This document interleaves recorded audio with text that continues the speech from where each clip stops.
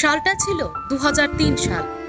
সন্ত্রাসবাদের পোষক হায়নাদের দৃপ্ত পদচারণায় গোটা ত্রিপুরা রাজ্যের আকাশ বাতাস ভারী ছিল। প্রায় প্রতি মুহূর্তেই অনিদ্রা এবং আতঙ্কে রাজ্যবাসীকে দিন কাটাতে হতো। তাই প্রতিদিন দিকে দিকে সন্ত্রাসবাদের মদতপোষ্ট হায়নাদের আক্রমণ অব্যাহত থাকতো। কখনো বা চলতো নির্বিবাদে খুন, কখনো বা চলত অগ্নিসংযোগ অপহরণের মতো ঘটনা। গোটা ত্রিপুরা রাজ্যের সাথে খোয়াই জেলার বিভিন্ন প্রান্তর উগ্রপন্থীদের সন্ত্রাসবাদের আতুর ঘরে পরিণত হয়েছিল। খোয়াই জেলার দিকে দিকে সন্ত্রাসবাদী উগ্রপন্থীদের আস্ফালন পরিলক্ষিত হতো প্রায় প্রতিনিয়ত। এরকমই এক ভয়াবহ ঘটনার সাক্ষী কল্যাণপুর থানাধীন উত্তর কমলনগর গ্রামে। আজ থেকে কুড়ি বছর আগে আজকের দিনে উত্তর কমলনগর গ্রামে রচিত হয়েছিল এক বর্বরতম ইতিহাস। সন্ত্রাসবাদের তপ্ত বুলেটে ঝাঁঝরা হয়ে গিয়েছিল চোদ্দটি তরতাজা প্রাণ। আজও কমলনগর সহ গোটা কল্যাণপুরবাসী এই অভিশপ্ত চোদ্দই আগস্টের কথা ভুলতে পারেনি। চোদ্দই আগস্ট আসলেই স্বজন হারানোর মর্মবেদী আর্তনাদে আকাশ বাতাস ভারী হয়ে ওঠে কমলনগর এলাকায়। বিগত বাম জামানায় একবারও ওই দিনের ঘটনায় নিহতদের স্মৃতিচারণার জন্য কোনো কর্মসূচি গ্রহণ না করা হলেও বর্তমান সরকার প্রতিষ্ঠিত হওয়ার পর থেকে স্থানীয় বিধায়ক পিনাকি দাস চৌধুরীর প্রচেষ্টায় চোদ্দই আগস্টের নিহতদের প্রতি শ্রদ্ধাঞ্জলি অর্পণ করার অনুষ্ঠানের আয়োজন করা হয়ে থাকে। এই বছরও এর অনথা হয়নি। সকাল সকাল কমলনগরের অভিশপ্ত সেই গ্রামে আয়োজিত হলো শহীদ স্মরণের অনুষ্ঠান। এই অনুষ্ঠানে অন্যান্যদের মধ্যে উপস্থিত ছিলেন স্থানীয় বিধায়ক পিনাকি দাস চৌধুরী, বিজেপি মণ্ডল সভাপতি জীবন দেবনাথ প্রমুখরা। খোয়াই ত্রিপুরা সড়ক লাগোয়া উত্তম কমলনগর এলাকায় যে চোদ্দটি তরতাজা প্রাণীর বলিদানের স্বীকৃতি হিসেবে শহীদ স্মারকগুলি রয়েছে, সেই স্মারকগুলিতে শ্রদ্ধাঞ্জলি অর্পণ করার পর বিধায়ক পিনাকি দাস চৌধুরী ওই দিনের ঘটনাকে বর্বরতম ঘটনা বলে উল্লেখ করেন।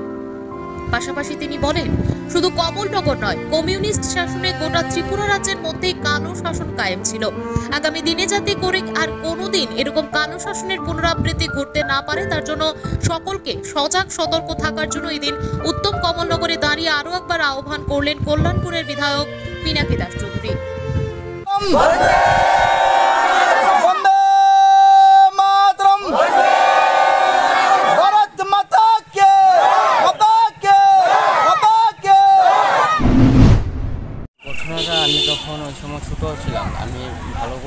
বুঝতে পারতাম না ক্লাস ফোরে পড়তাম ফোরে না সরি থ্রিতে পড়তাম।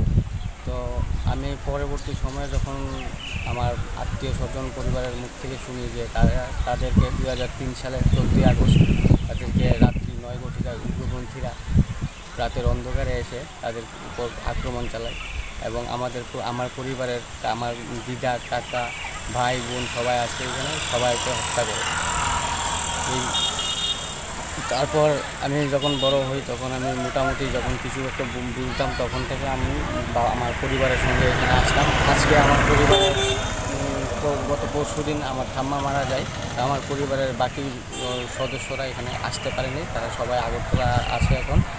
আর আমরা, বিশেষ করে আমি বা আমার পরিবারের সবাই এই দিনটার কথা ভুলে যাই। কিন্তু আমাদের যে পিনাকি দাস চৌধুরী দাদা এবং আমাদের জেঠি ময়দা এবং আমাদের যে দাদা তারা আছে, তারা আমাদের আগের দিন বা মনে করিয়ে দেয়। আমরাই ভুলে যাই। আজকে আমি এখানে এসেছি এবং আমার ভাইও আছে সঙ্গে। আমার তাদেরকে শ্রদ্ধা জ্ঞাপন করতে সবার সঙ্গে একত্রে মিলিত হয়েছে। আপনারা জানেন দু হাজার তিন সালের চোদ্দোই আগস্ট, তখনকার সময় কমিউনিস্টের শাসন ব্যবস্থায় এই উত্তর কমলনগর মাঝভান্ডার এলাকায় একটা বিভৎসময় রাত্রি নেমে এসেছিল। সেই কমিউনিস্টের মদত পুষ্ট উগ্রপন্থী দ্বারা সারা রাজ্যেই আপনারা দেখেছেন তাদের শাসনকালে। আমরা অনেক আত্মীয় স্বজন, অনেক বন্ধুবান্ধব হারিয়েছি। তারই একটা ঘটনা এখানে ঘটেছিল, মর্মান্তিক ঘটনা। পনেরো জনকে নৃশংসভাবে হত্যা করা হয়েছিল। ছয় বৎসরের শিশু থেকে ষাট বৎসরের বৃদ্ধা কেউ বাদ যায়নি। ওই আজকের দিনে ওই শহীদদের আমরা প্রত্যেক বছরই স্মরণ করি।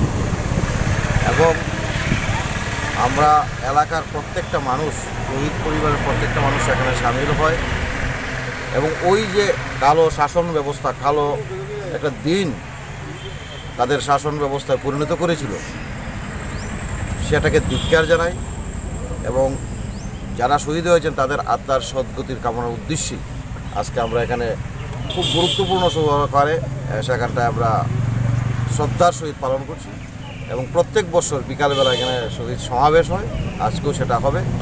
আপনাদের মাধ্যমে আমরা এটাই বলতে চাই, এই কালো শাসন ব্যবস্থা যাতে এই রাজ্যে ফিরে আর না আসতে পারে, তার জন্যই মানুষ সেখানটায় ঐক্যবদ্ধ হয়ে, প্রতিজ্ঞাবদ্ধ হয়ে আগামী দিন লড়াইয়ের জন্য আর যাতে কোনো মায়ের কুল খালি না হয়, সেই লক্ষ্যেই আজকে সেখানে সামিল হওয়া।